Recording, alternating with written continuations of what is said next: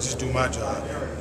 That's all I tend to. How, how much better is it than just say, say a few days ago? Do you feel getting better, stronger, is it just Oh, of course. Um, I ran on it Monday, and I, and I wasn't too sure. I was kind of mad at myself because a competitor. And me being out with my ankle injury, it sucks watching it from the sideline. So um, Monday I ran on it. Then came back Tuesday, I ran a little bit better. on it. So it's getting better each and every day.